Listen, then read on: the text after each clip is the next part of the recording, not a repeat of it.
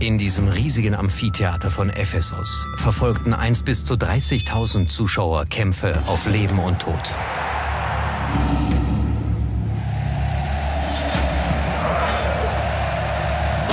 Von Italien bis Syrien, wo auch immer die Römer auftauchten, wollten sie sich vergnügen. Gladiatoren waren die Stars von Spektakeln, die auf uns wie brutales Gemetzel wirken. Aber waren sie das wirklich? Brutalität war sicher ein wichtiges Element, das ist schon richtig. Aber zugleich zeigten die Vorführungen eine unübertroffene Kampfkunst. Wie Gladiatoren wirklich lebten, war jahrhundertelang ein Mysterium. Bis heute.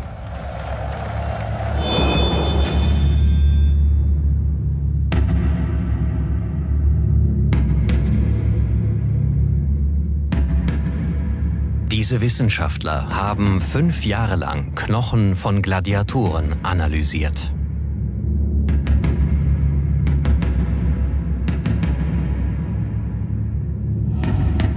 Der Fund ist extrem wichtig. Er ist weltweit einzigartig. Zum ersten Mal kann forensisch belegt werden, wie Gladiatoren lebten, wie sie kämpften und wie sie starben. 3000 Kilometer von Rom entfernt steht dieses Amphitheater im türkischen Ephesus. Es ist nur ein Drittel kleiner als das Kolosseum. Ephesus war zu seiner Blütezeit ungeheuer reich. Hier lag der prachtvolle Tempel der Artemis, eines der sieben Weltwunder der Antike. Julius Caesar besuchte die Stadt, ebenso Kleopatra, Hannibal und sogar Alexander der Große.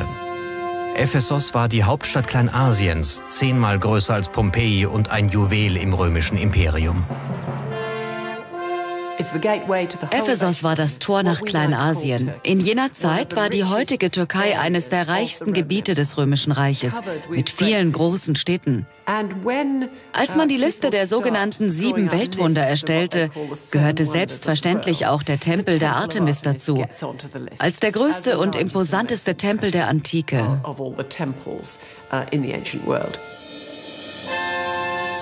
Ephesus war auch ein Finanzzentrum, eine Art römisches Hongkong. Seinen Wohlstand symbolisierte der Tempel der Artemis bis 262 vor Christi.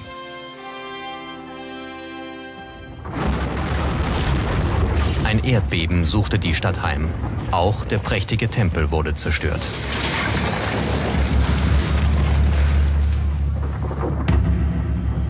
Der Anfang vom Ende für Ephesus. Dennoch behielt die antike Stadt über viele Jahrhunderte hinweg ihre Anziehungskraft. 1993 machten sich österreichische Archäologen auf die Suche nach dem verschollenen Tempel. Die Wissenschaftler fanden nicht nur eine antike Straße, sie fanden etwas weit Interessanteres. Viele hunderte von Schädeln und Knochen.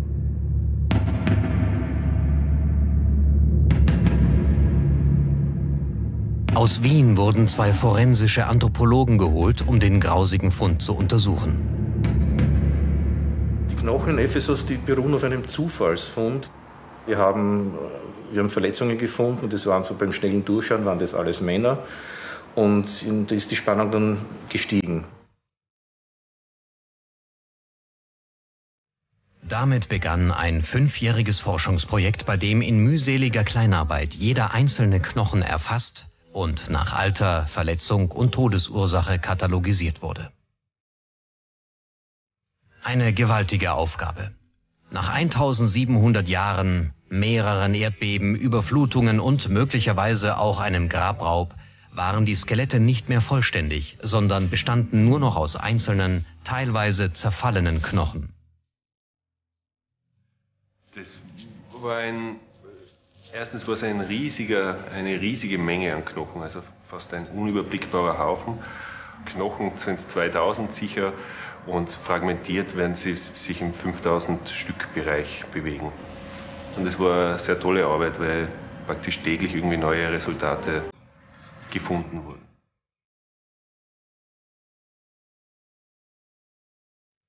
Das Team erhoffte sich von der Analyse der Knochen Informationen über Körperbau, Gesundheit, Alter, Ernährung und Todesursache.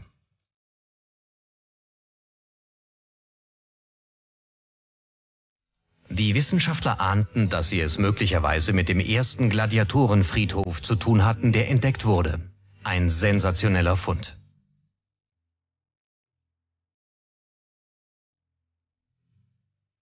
Neben den sterblichen Überresten wurden auch drei Grabsteine freigelegt. Darauf waren eindeutig Gladiatoren abgebildet mit folgenden Namen. Perlombus, Valerius und Euxenius. Im Massengrab befanden sich die Überreste von 68 Menschen. Gab es eine Verbindung zwischen den Grabsteinen und den Gebeinen?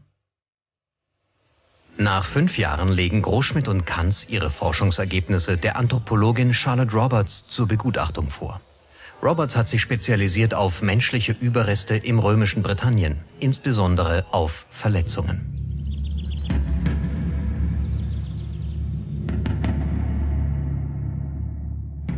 Ich habe ein paar hundert römische Skelette untersucht.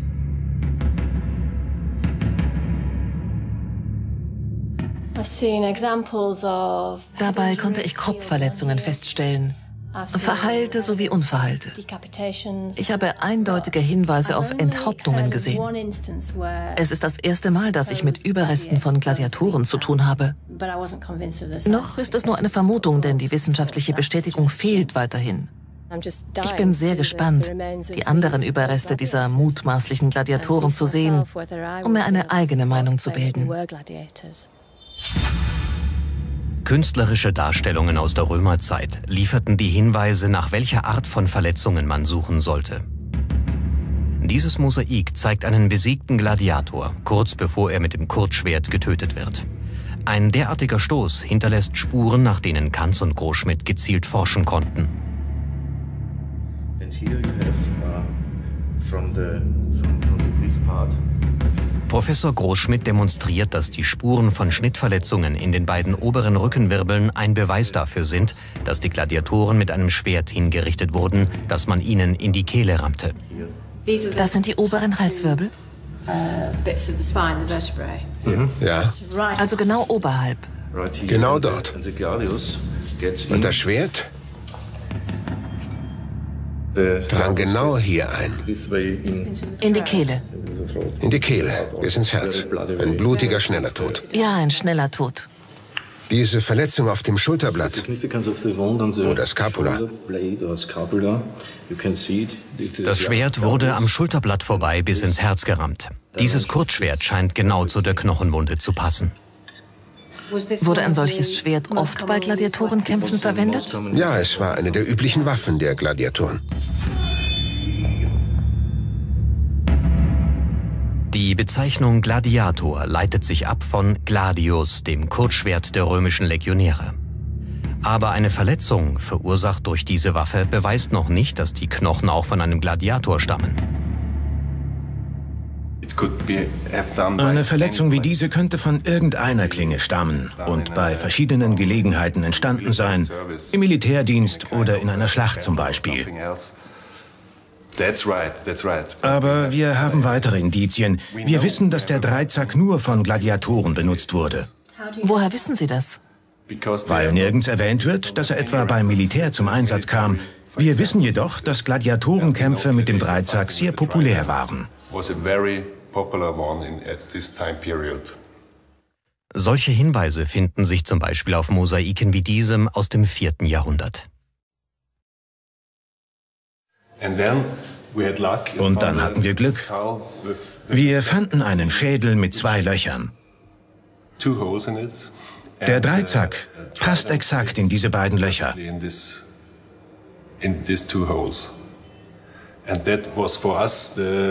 Das überzeugte uns vollends, dass wir es mit den Überresten von Gladiatoren zu tun hatten und nicht mit Gefallenen einer Schlacht. Das ist nicht der einzige Schädelknochen mit einer derartigen Verletzung. Diese Verletzung kann also nur in einem Gladiatorenkampf zugefügt worden sein?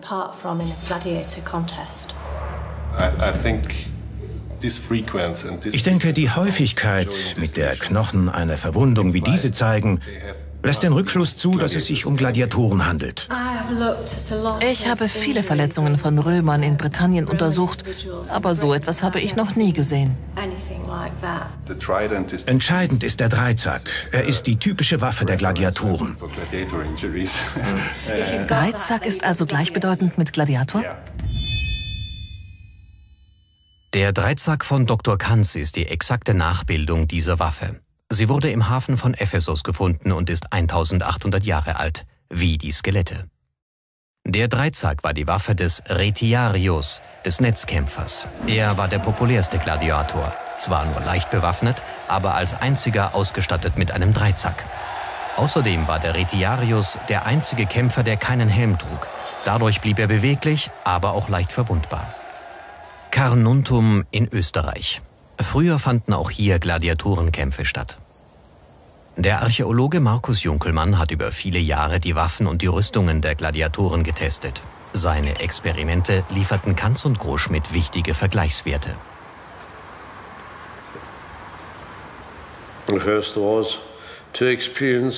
Bei einer Ausrüstung gilt es zunächst einmal, sie auf ihre Funktionsweise hin zu untersuchen. Dann stellt sich die Frage, warum bestimmte Typen von Gladiatoren gegeneinander antraten. Der typische Gladiator ist mit dem Gladius, dem Kurzschwert, bewaffnet. Er erscheint als Sekutor, als Verfolger. Was er an Schutz durch den schweren Schild und den Helm gewinnt, verliert er an Beweglichkeit. Der Sekutor der Sekutor war der Gegner des Retiarius. Er wurde auch Contra-Retiarius genannt, also derjenige, der gegen den Netzkämpfer antritt. Sein Helm war besonders hart, damit er dem gefährlichen Dreizack standhielt, der eine enorme Wucht besaß.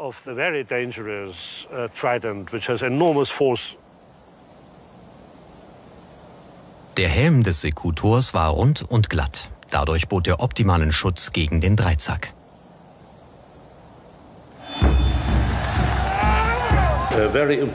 Für die Römer war es wichtig, dass die Kämpfe fair und ausgewogen abliefen.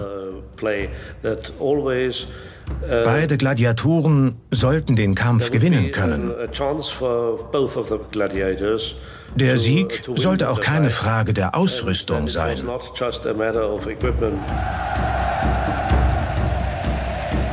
Trotz unterschiedlicher Bewaffnung und Rüstung sollte unter den Gladiatoren Chancengleichheit herrschen. Der Helm des Sekutors musste vor dem Dreizack schützen. Aber wie erklärt sich, dass der von den Österreichern gefundene Schädel eine derartige Verletzung aufweist? Möglicherweise wurde der Retiarius von seinem Gegner entwaffnet. Unsere Untersuchungen haben gezeigt, dass das durchaus vorkommen konnte. Im Nahkampf gelang es dem Sekutor manchmal, den Retiarius zu entwaffnen. Er nahm ihm den Dreizack ab und rammte ihn in den ungeschützten Kopf des Gegners.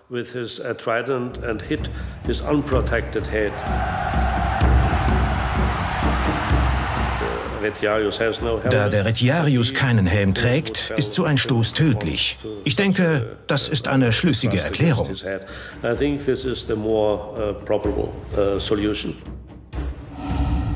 Die Kopfverletzung legt somit nahe, dass der Sekutor den Retiarius mit seinem eigenen Dreizack getötet hat.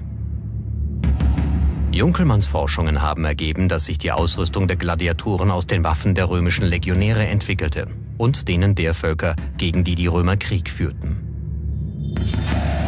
Der große Schild und das Kurzschwert des Provokator entsprechen der Bewaffnung römischer Soldaten.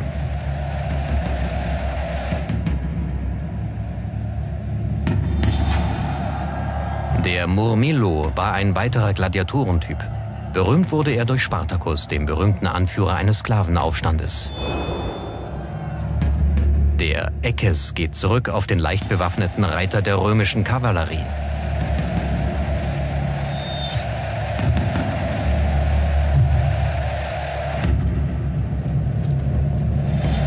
Der Traex mit seinem tödlichen Krummschwert gleicht einem thrakischen Kämpfer aus Bulgarien.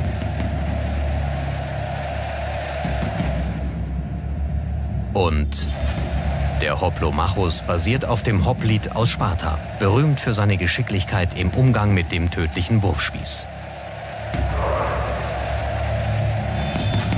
Mosaiken und Reliefs zeigen nicht nur verschiedene Gladiatorentypen. Sie enthalten auch einen Hinweis, dass es in den Arenen sogar Schiedsrichter gab.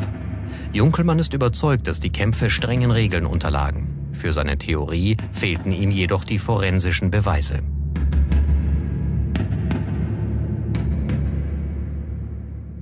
Also wir haben die, die große Chance gehabt und haben auch die Gelegenheit, dass wir die Theorien, die Junkelmann in seinen Büchern aufgestellt hat, dass wir die am Knochen belegen können. Und zugleich auch äh, hätten wir ohne Junkelmanns experimental-archäologische äh, Untersuchungen, hätten wir nie die Chance gehabt, am Knochen genau diese Veränderungen zu suchen. Sollte Junkelmann sich irren, dann wären die Kämpfe tatsächlich nur blutige Gemetzel gewesen. Die Knochen hätten demzufolge viele verschiedene Verletzungen. So far we didn't see any signs of mutilation because there was most of the time just a single trauma. Hat das mit dem Schiedsrichter zu tun? Wurde der Kampf manchmal abgebrochen? I think, yeah, yeah, I think of course with the referee, but with the rules for fighting. I think it was not the Roman didn't want to see somebody mutilated in their arena. Die Knochen weisen darauf hin, dass Junkelmann recht hat und die Kämpfe strikten Regeln folgten. Junkelmann geht außerdem davon aus, dass die Kämpfe stark vom römischen Gerechtigkeitssinn geprägt waren. Für die Kämpfe wurden gleichwertige Gegner ausgewählt, etwa Traex und Murmillo. Der Murmillo besaß einen größeren Schild, um gegen den Traex bestehen zu können.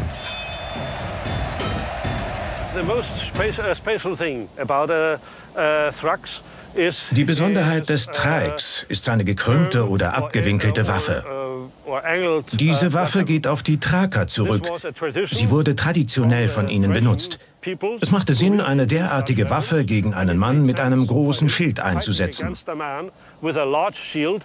Es ist schwierig, große Schilde zu überwinden, also den Feind dahinter zu erwischen. Mit einer gekrümmten Schneide kommt man leichter hinter den Schild.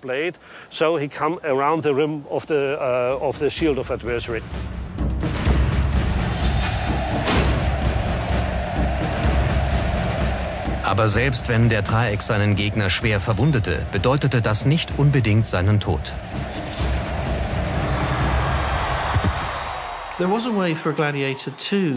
Es gab für den Gladiator einen Weg, um Gnade zu bitten.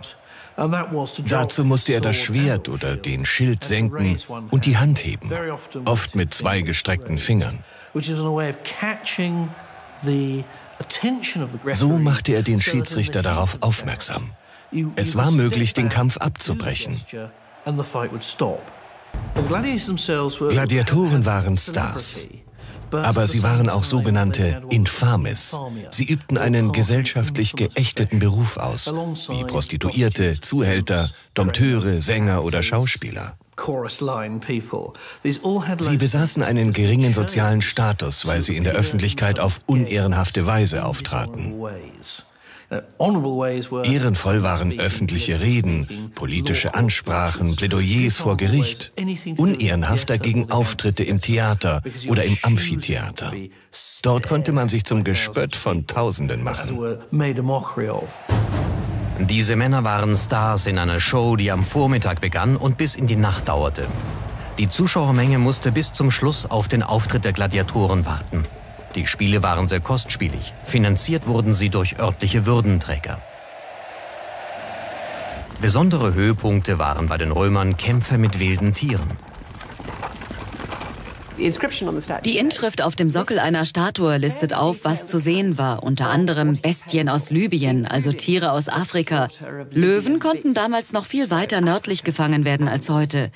Man vermutet, dass der Hunger nach Unterhaltung bei den Römern auch gravierende ökologische Folgen hatte. that the Roman appetite for the games had serious ecological consequences. Kämpfe mit wilden Tieren erlangten ihre Blütezeit im 4. Jahrhundert. Da die Jagd auf einheimisches Wild weit verbreitet war, waren exotische Tiere in der Arena eine besondere Attraktion. Außerdem hatten sie die grauenvolle Funktion, die Todesstrafe zu vollstrecken.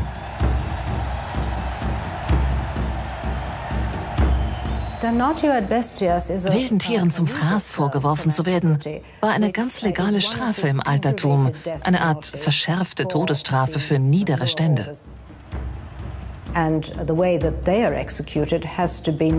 Die Angehörigen dieser Stände mussten brutaler hingerichtet werden als Angehörige des Bürgertums.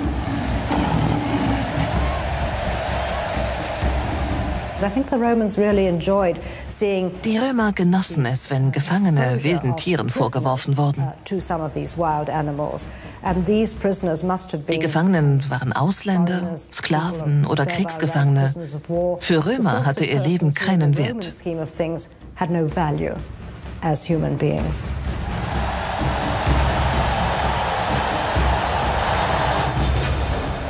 Die Lust am Blutvergießen hatte auch Einfluss auf die Waffen der Gladiatoren. Das ist ein Skissor, ein Schlitzer. Er war in Ephesus sehr beliebt. Der Armschutz endet in einer Sichel, die als Schneide- oder Stichwaffe benutzt wurde. Markus Junkelmann nimmt an, dass die Waffen der spätrömischen Gladiatoren bewusst grausam sein sollten. Uh, Die Waffen der spätrömischen Gladiatoren waren derart gestaltet, dass sie schwere Verletzungen zufügten, ohne den Gegner zu töten.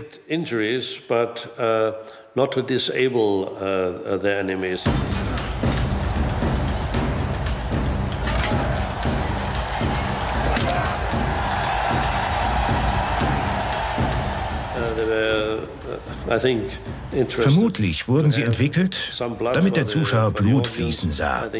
Das war wohl der Grund für diese sehr gefährlich aussehenden Waffen. Sie setzten den Gegner aber nicht endgültig außer Gefecht.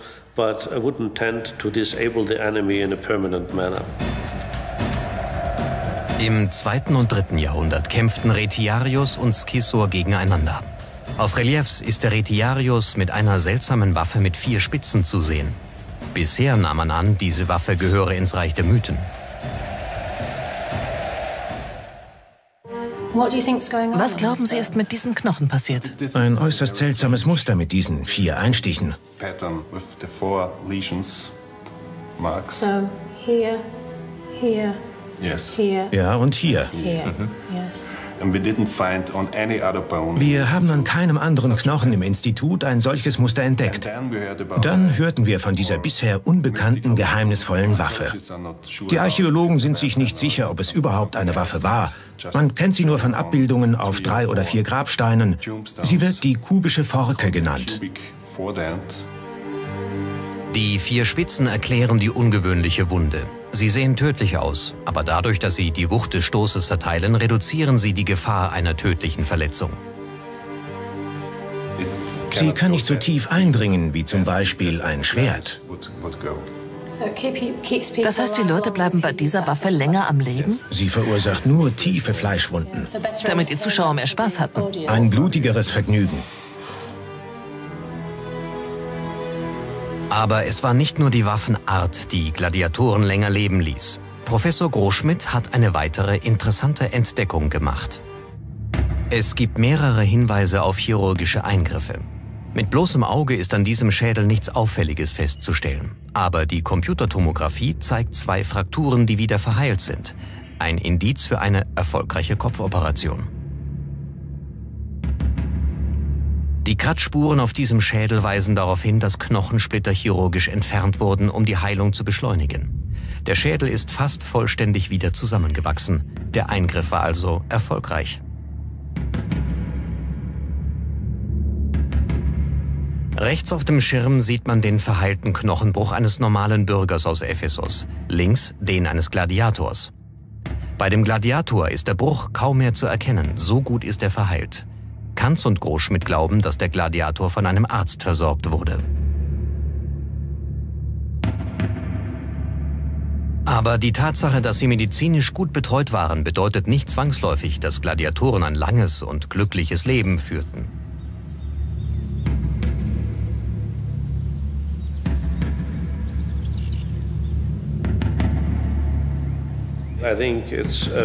Ich halte es für sehr wahrscheinlich, dass die Mehrzahl der Gladiatoren schon im jungen Alter starb. Früher oder später mussten sie alle sterben. Ihre Grabsteine zeigen, dass Gladiatoren auf ihren Beruf stolz waren. So wie sie abgebildet sind, mit Siegerkränzen und Siegerpalmen und der kompletten Ausrüstung, das macht deutlich, wie stolz sie waren, Gladiatoren zu sein. Uh, Neue Hinweise lassen eine überraschende Todesursache vermuten. An mehreren Schädeln fand das österreichische Team seltsame Verletzungen. Ihre eckige Form passt zu keiner Waffe, aber auffallend gut zu einem Hammer.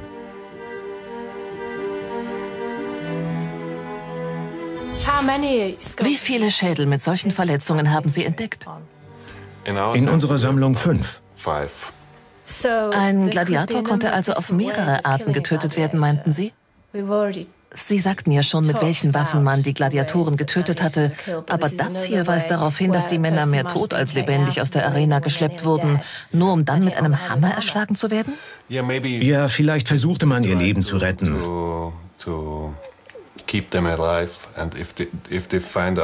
Wenn man aber feststellte, dass der Gladiator so schwer verletzt war, dass er nicht überleben konnte, dann war ein Schlag mit dem Hammer die Erlösung für den Gladiator.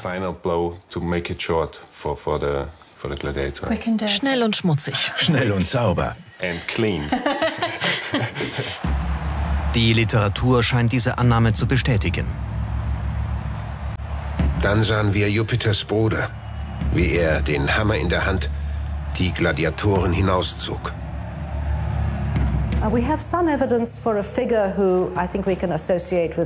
Möglicherweise besteht eine Verbindung zwischen Pluton, dem Gott der Unterwelt, und einer Figur, die die besiegten Gladiatoren aus der Arena schleppte, mit einem Hammer in der Hand.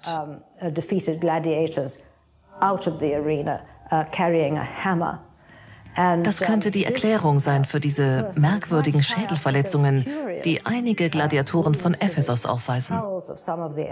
Sie passen sonst zu keiner der bekannten Gladiatorenwaffen. Die Verletzungen lassen sich eher auf Hammerschläge zurückführen.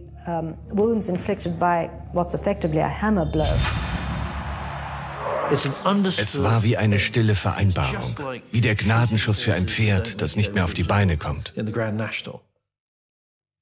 Wie fast alle Knochen stammen die mit Hämmern eingeschlagenen Schädel von Männern unter 30 Jahren. Sie sind alle jung gestorben, bis auf einen. Durch diesen unglaublichen Fund konnte den Gebeinen eines Gladiators erstmals ein Name zugeordnet werden.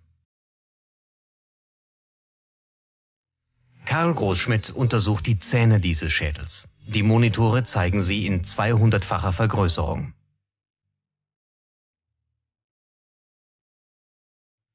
Zwei Linien symbolisieren ein Lebensjahr. Das heißt, dieser Gladiator war bei seinem Tod 50 Jahre alt. Er wurde in der Mitte des Friedhofs beerdigt, muss also sehr verehrt worden sein. In der Nähe fand sich ein wichtiger Hinweis auf seine Identität. Ein Grabstein, den zwei junge Gladiatoren ihrem Trainer gestiftet hatten. Sein Name war Euxenius. Und woher weiß man, dass er tatsächlich ein Gladiator war? Wir glauben das aufgrund seiner Wunden, seiner verheilten Wunden. Hier schauen Sie, das sind die alten verheilten Wunden. Hier unten, ja. Diese hier. Ja. Und diese. Genau. Das Alter des Schädels, die Verletzungen und die Existenz des Grabsteins Großschmidt und Kanz hoffen, erstmals einen Gladiator mit Hilfe dieser Elemente identifizieren zu können.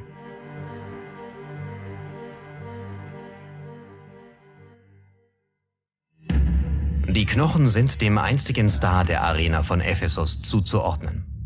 Wegen des überdurchschnittlich hohen Alters konnte man seine Überreste von denen seiner Kameraden gut unterscheiden.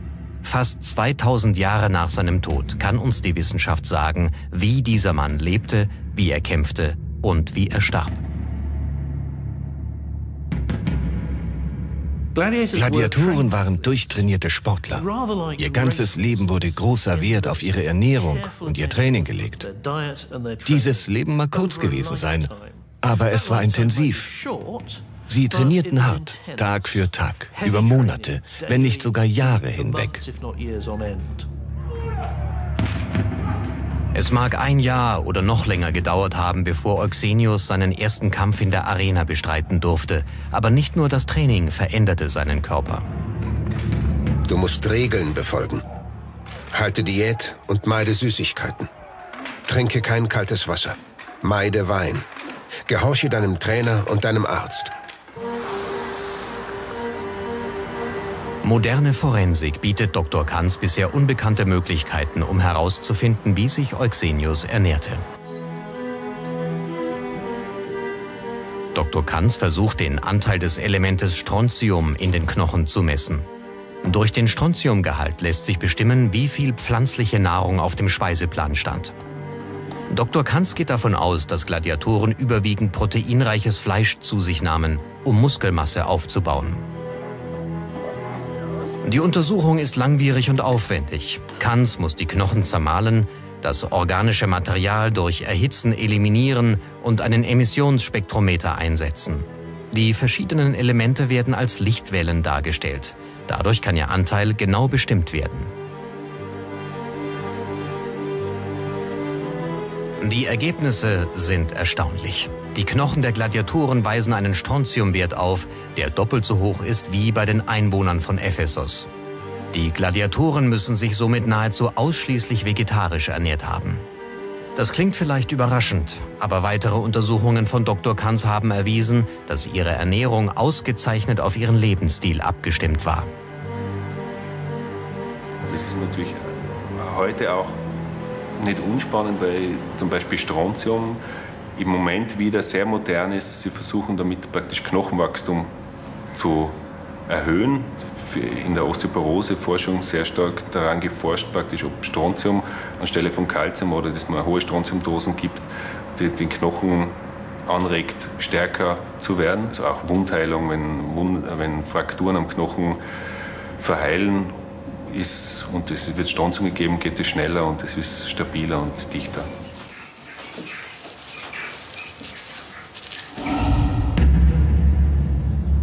Nach einem Jahr intensiver Vorbereitung könnte Oxenius seinen ersten Kampf ausgetragen haben. Vielleicht in einem bescheideneren Rahmen als diesem. Gladiatoren kämpften selten mehr als dreimal im Jahr in der Arena.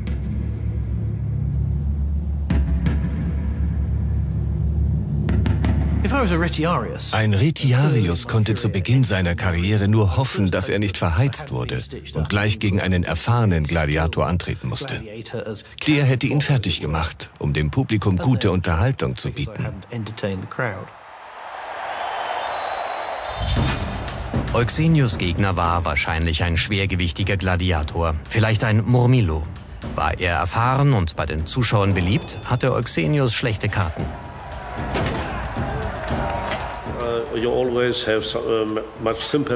Die Sympathie galt aber meist dem Außenseiter, der sich wacker schlug.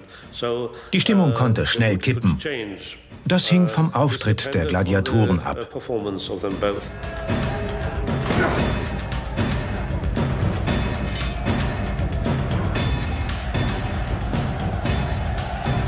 Das Blatt konnte sich also jederzeit wenden. Of course, if you wenn ein Gladiator das Publikum in seinem ersten Kampf mit einem Sieg überraschte, dann brachte ihm das enormes Ansehen und Popularität ein. Das war ein großartiger Karrierestart.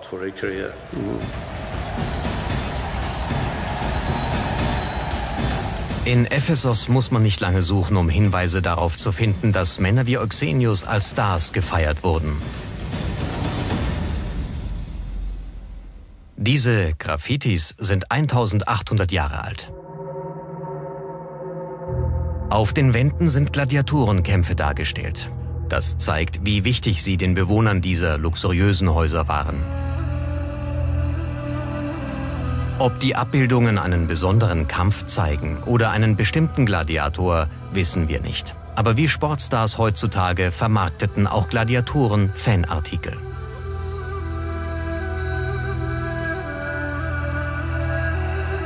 Auf diesen in Ephesus gefundenen Öllampen ist ein Gladiatorenkampf dargestellt. Zwei Drittel aller im römischen Imperium gefundenen Lampen zeigen solche Abbildungen. Ein Beweis dafür, dass die Verehrung der Gladiatoren ein Massenphänomen war. Noch vor 50 Jahren bezweifelte man, ob den alten Griechen Gladiatorenkämpfe wirklich gefallen hatten. Schließlich waren sie kultivierte Menschen und nur die Armen und Unkultivierten hatten Freude an Gladiatorenkämpfen, so die allgemeine Meinung. Das stimmt aber nicht. Im gleichen luxuriösen Haus mit den Gladiatorenfresken befindet sich auch dieser Raum der Musen, gewidmet den schönen Künsten, der Poesie, dem Theater und der Rhetorik. Der Hausherr wollte zeigen, dass er gebildet war und die Kultur liebte.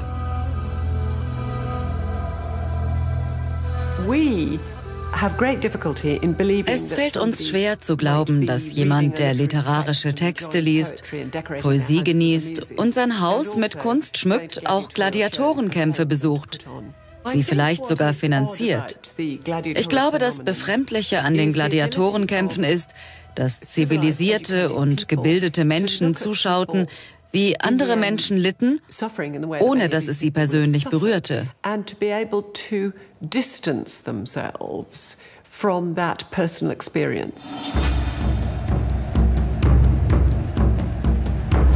Nach drei Jahren in der Gladiatorenschule hatte Euxenius, wie alle Gladiatoren, die Chance, die Freiheit zu gewinnen. Während er auf seinen Auftritt wartete, hörte er wahrscheinlich das Stöhnen der Kollegen, gegen die sich das Schicksal wendete.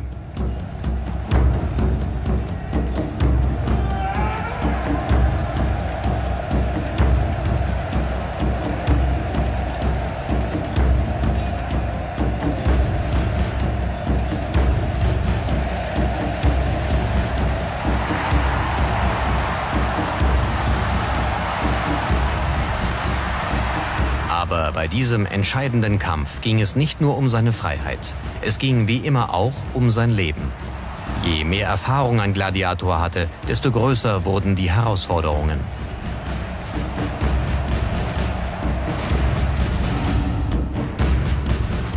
Die Wunden auf seinem Schädel legen Zeugnis ab von seinem Leben und seinen Kämpfen. War sein letzter Kampf kein Zweikampf? Fand er etwa auf dem Pons statt, auf der Brücke? Offenbar gab es einen besonderen Kampf, der sich auf einer Art hölzernem Podest abspielte. Auf dem Podest stand breitbeinig der Retiarius. Er wurde gleichzeitig von zwei bewaffneten Gladiatoren attackiert. Der Retiarius musste beide abwehren. Wenn er sich nur auf einen konzentrierte, konnte ihn der andere von hinten erwischen. Dr. Markus Junkelmann hat in einem Versuch nachgestellt, wie hoch die Überlebenschancen waren. Der Retiarius hatte gute Chancen, einen Gladiator mit Steinen abzuwehren und den anderen vielleicht mit dem Dreizack. Sein Vorteil war, dass er erhöht auf einer Plattform stand, aber er bekam es mit zwei Gegnern zu tun.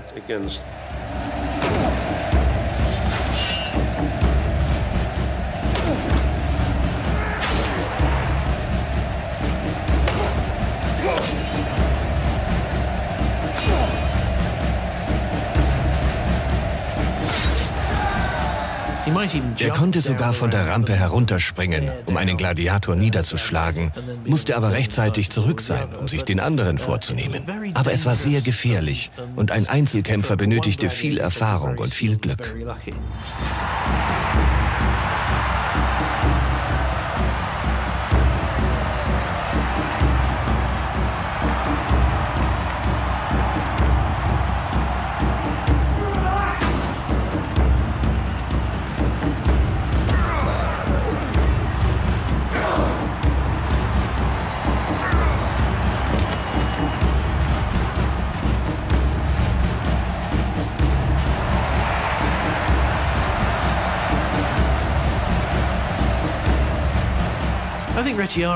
Jeder Retiarius, der diesen Kampf auf dem Podest gewann, genoss große Anerkennung.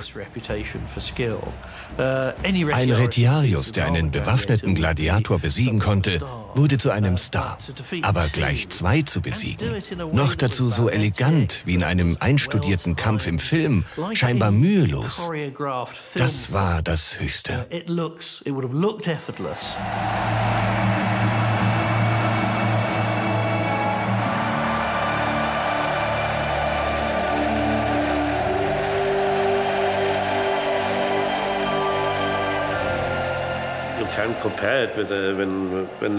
Es war wie wenn heute ein sehr beliebter Sportler seine letzte Partie gewinnt.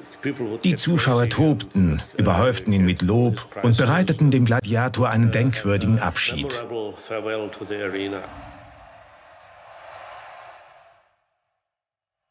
Euxenius gewann seinen letzten Kampf.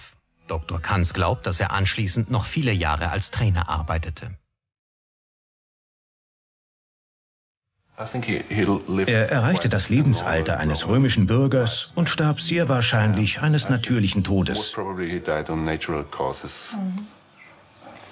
Man kann also davon ausgehen, dass er zu den Glücklichen zählte. Er überlebte schließlich seine Zeit als Gladiator. Ja. Und starb nicht, sondern wurde Trainer. Ich könnte mir vorstellen, dass er das Gladiatorenleben mochte und in dieser Branche blieb. Wie ein Boxtrainer, der den Ring nicht verlassen will.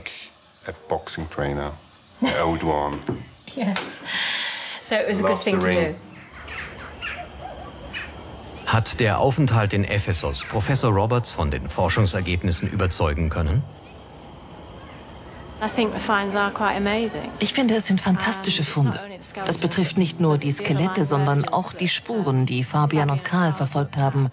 Ihre Arbeit ist bedeutend. Etwas Vergleichbares wurde bisher noch nie gefunden. Sie haben mit so manchem Mythos über Gladiatoren und ihre Art des Kämpfens aufgeräumt. Fast 2000 Jahre nachdem Euxenius und seine Kameraden beigesetzt wurden, haben Wissenschaftler dafür gesorgt, dass wir unser Bild von der Welt der Gladiatoren revidieren müssen. Sie sind jetzt für uns menschlicher geworden. Ihre Grabsteine zum Beispiel belegen, dass Gladiatoren in einer eigenen Welt lebten und sie sowohl verachtet als auch bewundert wurden.